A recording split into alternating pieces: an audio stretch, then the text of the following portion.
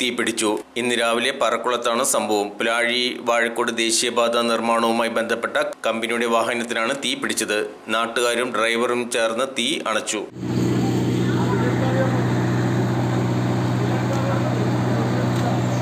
ഏയ് ഒരു രക്ഷയില്ല. മൊത്തം കത്തിപ്പോയി.